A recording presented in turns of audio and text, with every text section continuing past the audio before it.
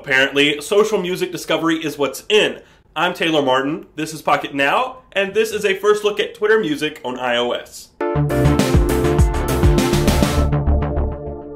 We all knew Twitter Music was nearing release, and today it officially launched for non celebrities. It's available for desktop at music.twitter.com, but Twitter also released an application for iOS, the hashtag Music app.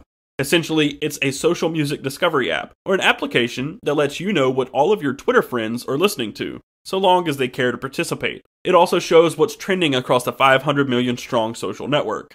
When you install the iOS app, you are prompted to log into your Twitter account and a Spotify or Rdio account if you have one. Then you are taken to the feed view. Twitter Music tracks users' music habits by using the now playing hashtag, and it separates that data across four categories popular, emerging, suggested, and now playing. The left most popular feed is exactly what you would expect the most tweeted songs across the network, where you'll see widely known artists like Maroon 5, Rihanna, or City and Colour. To the right of the popular feed is Emerging, where you will find lesser known artists and bands that get tweeted about. One more page over is the suggested feed, which recommends related artists to those that you may follow. Unfortunately, this page apparently takes some time to propagate, and we couldn't get it to work immediately as we weren't initially following any artists. The next to last page is the Now Playing page, which shows a feed of music that the people you follow are tweeting about. And in the top right corner is a search button where you can search for other artists.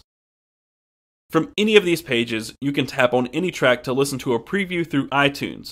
However, if you've logged into a Spotify or Rdio account, you can listen to full tracks, which effectively turns the app into a DJ playlist based on either popular music, emerging music, or your friends' tastes. You can quickly switch between tracks and use the application basically as another way to indulge Spotify or Rdio. If you don't have an account with either of these services, though, you can open the track in iTunes for purchase. The rightmost page is your Twitter profile, which also displays any recognized artists that you follow. With Twitter Music, there are some caveats worth mentioning. It's only available for iOS and through desktop browsers for now, but an Android application is in the making.